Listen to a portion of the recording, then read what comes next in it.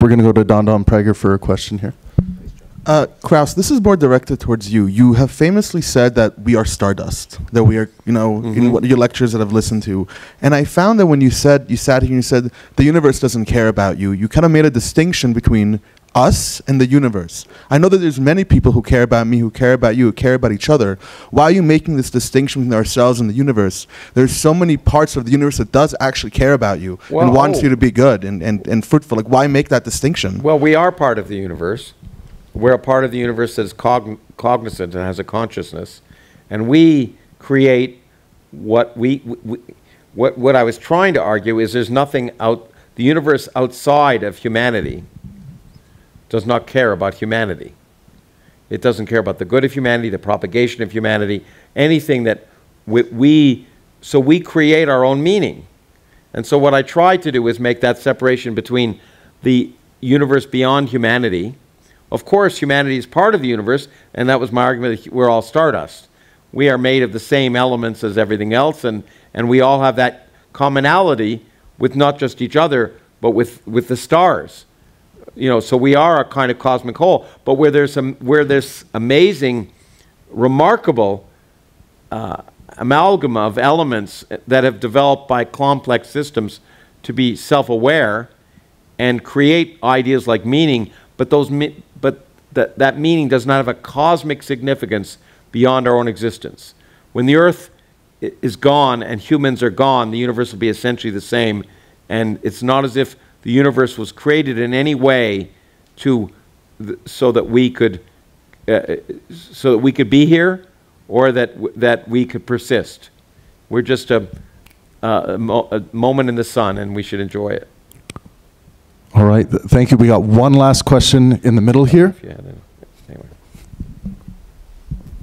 Yeah, I, I hope this question isn't too complex, but how should humankind approach religion? Should it be approached as a, a bug or a glitch, or something we want to root out, or should it be approached as a, a feature, something that can only be hoped to be managed? You can take that one. I, I, I really think it depends on what kind of religion you're talking about and what the religion means for, for different individuals. So, uh, you know, my view is that all of the religions are false.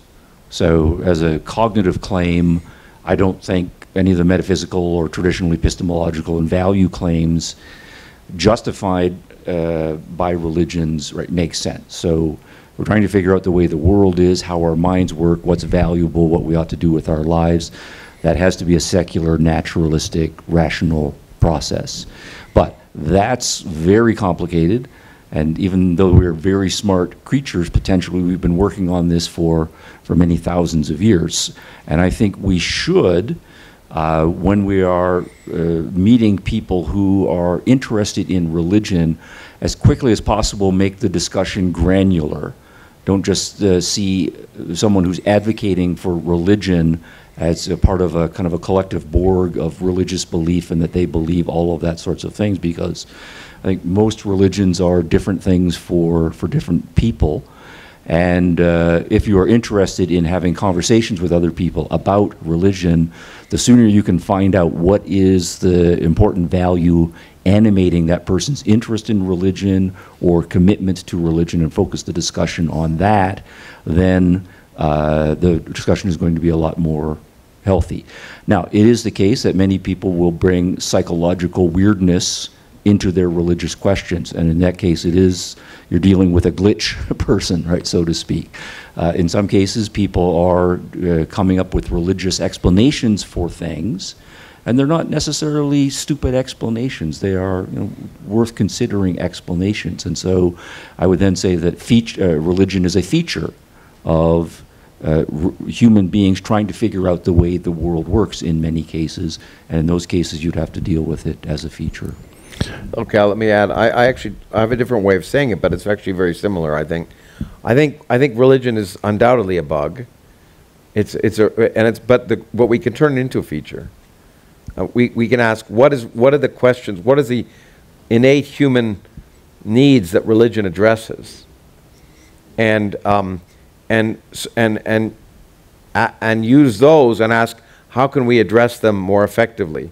So it's, it's, it's really the way, it's like in, in, in neuroscience, we can sort of only understand consciousness or by looking at the, uh, at the, at those people who are ill. Or, you know, we can look at what features do schizophrenics have that we don't have so we can try and isolate what, what, what works, okay? And so I think religion is the bu- natural bug, this natural desire for purpose in a universe without purpose. But, but it addresses things and, and it's ubiquitous throughout humanity. So we can ask, okay, what, what, what features does it have that we can then more pr- productively address. So it's very useful. And as I said, commonality, community, comfort. Can we, can we think of ways that we can, we can try and take what religion appears to provide people, eh, that, that people really need, because it's everywhere in every society, and can we find more efficient, more effective, and more rational ways of providing those same needs? And then, then we can use religion as a feature. And I don't think that's that different than what you said, really. Well, on that note of agreement, I think, um, I thought that this was an incredible discussion here tonight. What did you guys think? Okay. Great. Lawrence Krauss and Stephen Hicks, thank you so much. Thank you. Yeah, let's, let's, We're going to take a short break here, but then we'll meet you in the lobby. We have posters for you guys to be able to take home a signed poster if you uh, want and just mingle, hang out. This is all about building uh, communities grounded in uh, good faith, helpful intellectual discourse. So uh, feel free to reach out to each other and discuss uh, the event tonight. But thank you so much.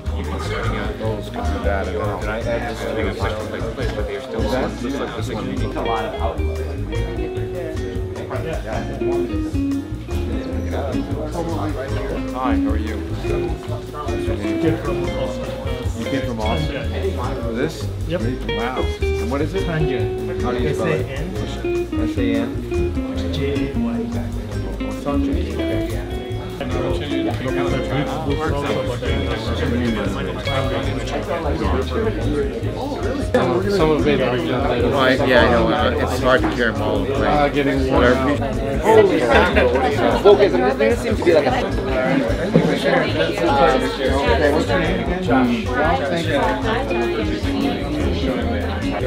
Thanks for coming. Are you from here? no, I drove in from Lincoln, Nebraska. a lot of male, female, sin differentials. Yeah, and also just, you know, as a high school teacher, I'm really trying to crack down when I, I have, well, I'm, yeah, it was my misogyny, and I'm not sure how to address it. You know, I don't know if it's just something I want to.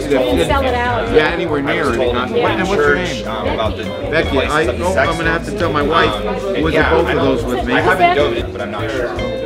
Hope to cruise with you again. Yeah, but I, I think we're Gaotsu uh, and the Temple of Power is now officially available on Amazon. This is the first Pangburn Universe book. It is puzzles, coloring, and philosophy for kids. So we hope you pick up a copy. We are very excited to release our first book.